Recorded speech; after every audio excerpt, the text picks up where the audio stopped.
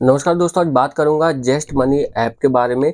जेस्ट money में आपको loan offer मिलता है और आपको बता दूँ कि कई बार क्या होता है कि आप गलती से लोन को देखने के लिए कि उसमें इंटरेस्ट कितना लग रहा है प्रोसेसिंग फ़ीस आपका कितना लगेगा और आप कंटिन्यू करते चले जाते हैं और वो अकाउंट जो है वो एक्टिवेट हो जाता है। मेरे साथ हो चुका है एक बार और एक कमेंट एक भाई का आया है, वो अभी आपको दिखाने वाला हूँ।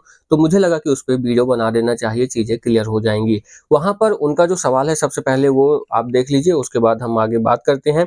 उनको देखिए, जो जेस्ट मनी का लोन है, वो उनका लोन एक्टिवेट हो गया तो कैंसिल होगा या नहीं? ये उनका सवाल था और उनको मैंने आंसर दिया। नहीं होता है शायद और मेरा भी एक्टिव हो गया था, फिर मैंने भी नेक्स्ट मंथ में फोर्स क्लोज किया था लोन का। तो अब इसके बारे में डिटेल में बात करते हैं वीडियो। पहली बार देखे तो लाइक कर देना, चैनल सब्सक्राइब आपको बता दूँ कि जो ये लोन ऑफ़र है, आपको देखते देखते ही वो एक्टिवेट हो जाता है, क्योंकि जस्ट मनी में जब आप अकाउंट बनाते हैं तो वहाँ पर पहले ही या तो आप उनसे कोई सर्विस लेते हैं या पहले लोन ले लेते हैं तो वहाँ पे बैंक डिटेल वगैरह उनके पास होती है ऑलरेडी और ईसीएस वगैरह भी आप कर देते हैं, यानी कि अगर वहाँ से आप कोई सर्विस लेते हैं तो अगर वहाँ पे ई बनती है तो आपके अकाउंट से ही वो डायरेक्ट कट जाए।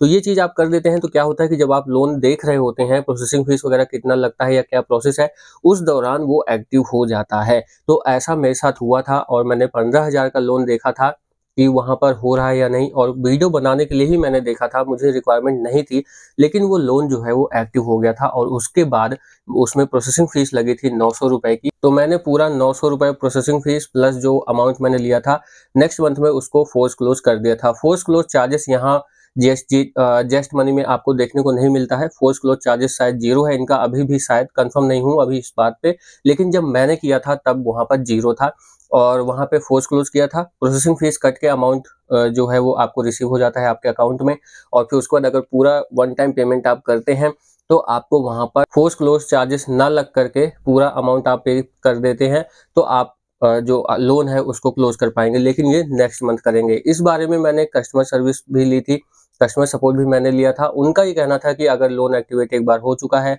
तो आप उसके ऑप्शन जो है आपके पास वो फोर्स क्लोज का ही है।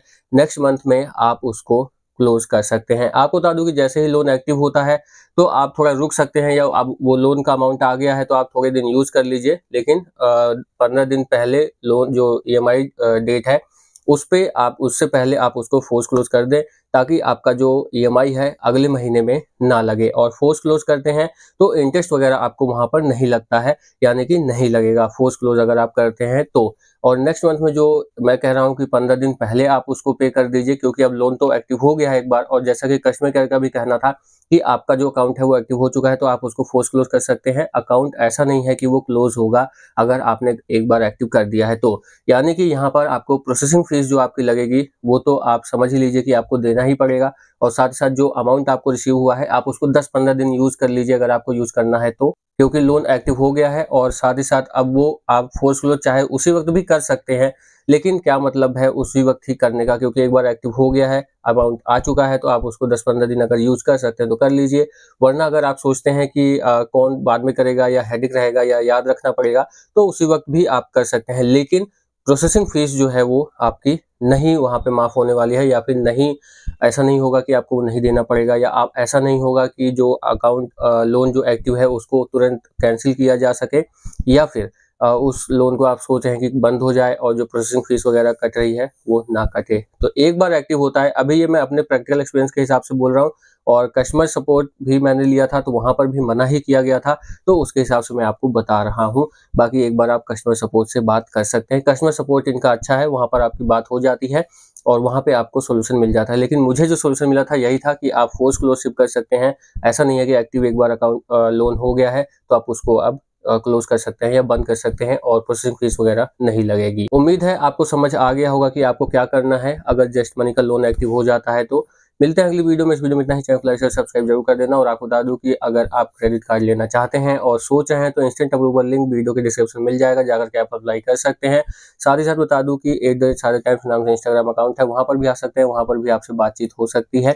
सारे टाइम्स ब्लॉग के नाम से एक यूट्यूब चैनल और है, वहाँ पर आपको ब्लॉग देखने को मिल जाता है। मिलते हैं अगली वीडियो में। इस वीडियो में इतना ही। नमस्कार।